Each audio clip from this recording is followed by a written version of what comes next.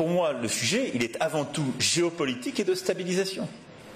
Mais nous n'allons pas non plus choisir entre un camp et l'autre. On ne va pas non plus devenir les alliés de l'Iran contre les États-Unis d'Amérique. Parfois, quand je lis les commentaires ou que j'entends les choses, on pourrait donner le sentiment que c'est ce qu'il faudrait faire. C'est une erreur absolue. Nous parlons à tout le monde et nous voulons construire ce cadre de confiance dans la région qui seul évitera l'escalade. Dans ce contexte-là, il y a des sujets économiques et commerciaux.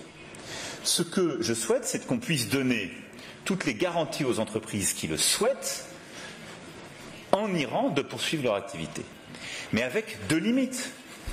La première, nous n'allons pas enclencher une guerre stratégico-commerciale avec les États-Unis sur le cas de l'Iran. Donc je le redis très clairement, on ne va pas sanctionner ou contre-sanctionner des entreprises américaines pour répondre sur ce sujet-là. Ça n'aurait pas de sens, y compris géopolitiquement, par rapport à ce que nous voulons faire.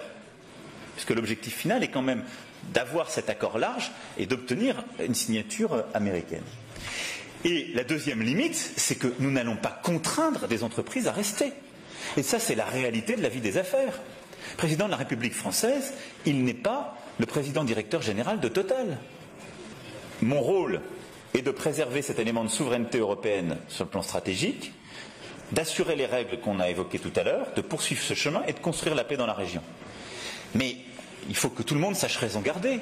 La responsabilité du président de la République française n'est pas de prendre la décision du président de la République américaine, ni de prendre la, décision du président de Total.